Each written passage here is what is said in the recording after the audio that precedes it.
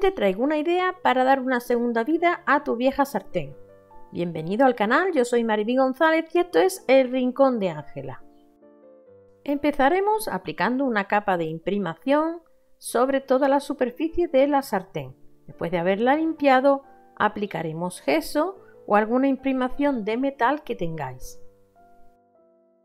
Este paso es muy importante porque prepara la superficie de metal para que podamos aplicar la pintura y además proporcionamos una base blanca sobre la que poder trabajar. En el canal tengo un vídeo de cómo preparar gesso casero, así que si no tienes dinero para comprar la imprimación, no tienes excusa porque lo puedes preparar tú misma y además dura un montón de tiempo. Una vez seca la imprimación, vamos a aplicar una capa de pintura blanca. Yo voy a utilizar pintura a la tiza o chal paint porque es muy espesa y solo tendría que dar una capa. Pero también puedes utilizar pintura acrílica ya que hemos puesto una base de imprimación y tenemos la superficie completamente preparada para usar cualquier tipo de pintura. Pintamos todo de gesso y lo dejamos secar. Para este trabajo he elegido esta servilleta tan bonita y alegre. Voy a utilizar solo media servilleta, así que la voy a recortar y me quedo con media nada más. La otra media la voy a guardar porque más adelante os haré un vídeo contando qué hago yo con los trocitos de servilleta que me sobran de los trabajos. Quitamos las dos capas blancas de detrás y nos quedamos solamente con la capa decorada. Con un pincel y un poquito de agua voy a ir recortando la servilleta por la zona que me interesa. Humedecemos el contorno por donde la quiero romper y de esta forma el corte no me queda uniforme, sino que me queda con una especie de pelusilla que luego hace mucho más fácil que se integre en el trabajo. Con mucho cuidado voy a ir separando la zona azul y voy a quedarme solamente con la parte de los limones. No lo he dicho, pero eh, para este trabajo podemos utilizar servilletas de papel, papel de arroz o lo que tengamos. Empezamos con el decoupage. Ponemos la servilleta en su sitio y con un pincel bastante cargado de pegamento especial para decoupage vamos a ir pegando la servilleta. Pincelada muy muy suave, sin apretar.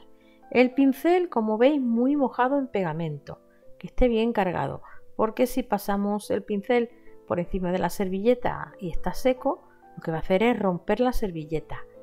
También muy importante que sea un pincel ancho y plano. Y tened en cuenta que no tenéis que apretar el pincel, simplemente deslizarlo.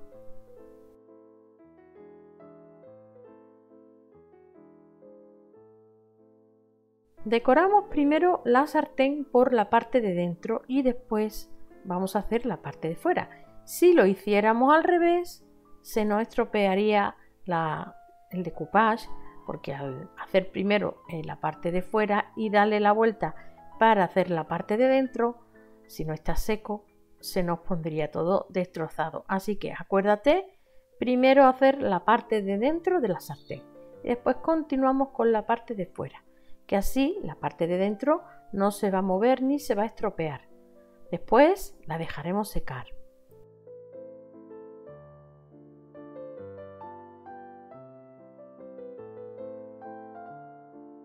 Ya se ha secado el decoupage y ahora vamos a integrar lo que es la servilleta con el color exterior de la sartén.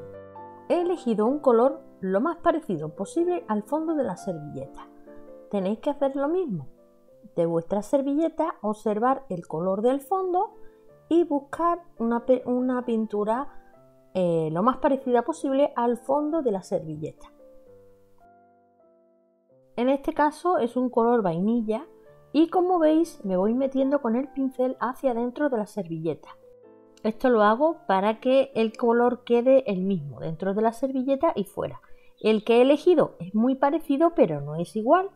Así que me voy metiendo con el pincel entre las letras, entre las hojitas y voy dando pequeños toques para dejar el color uniforme por todos lados. Y como os dije antes, volvemos a hacer lo mismo Aplicamos la pintura en la parte interior de la sartén y después lo haremos en la parte exterior. Es muy importante que empleemos tiempo en este paso ya que si no integramos bien la servilleta con la pintura nos queda un parche y se ve muy feo.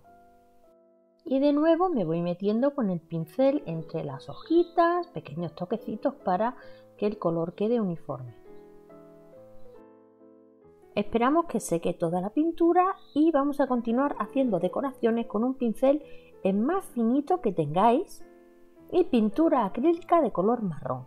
Vamos a pintar ramitas con hojas de una forma muy sencilla. Como veis en la imagen simplemente pintamos la primera hoja, lanzamos el palito hacia abajo y ya después vamos agregando pequeñas hojitas alrededor de la rama.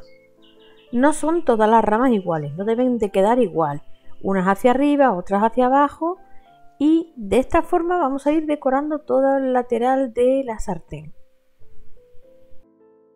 Un truco para que te salga bien es practicar primero en una hoja de papel.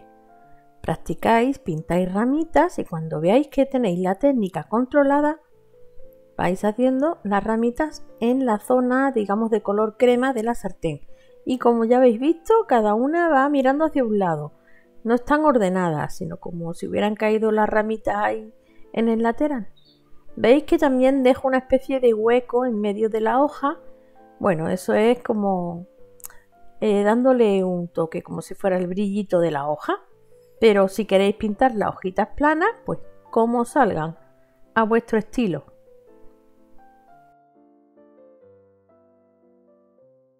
De esta forma voy a decorar el interior de la sartén y después la parte exterior, siempre empezando por la parte interior. Le damos la vuelta a la sartén y continuamos por la cara exterior. Una vez una suscriptora me dejó un comentario preguntándome que por qué hacía las dos caras de la sartén, la interior y la exterior. A lo mejor alguna de vosotras también se lo está preguntando. Pues os lo voy a decir porque dependiendo de la forma que cuelgues la sartén, se verá una cara o la otra. Y piensa si tienes un clavo que ya estaba puesto en la pared, tampoco sabes de qué cara te va a quedar mejor la sartén, si de una o de otra, dependiendo del orificio que tenga en el mango. Así es que decoramos las dos caras y siempre tenemos eh, asegurado que nos va a quedar bien. No sé si me he explicado. Bueno, en la cara posterior ya veis que estoy haciendo un círculo de ramitas alrededor y después ramitas una para arriba y otra para abajo en lo que es el lateral. Es un diseño diferente. El otro ha sido más al azar y este está un poco más ordenado.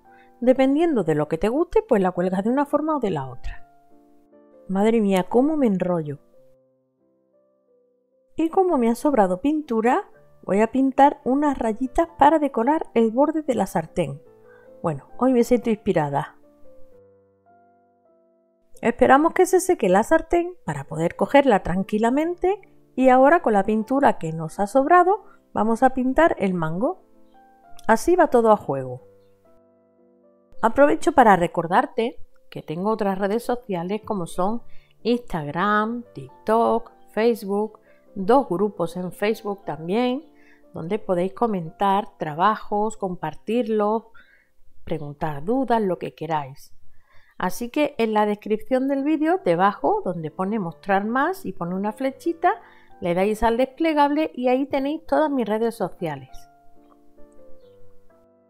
Voy a aplicar una sola capa para que haga efecto como si fuese madera rústica. No sé si me explico.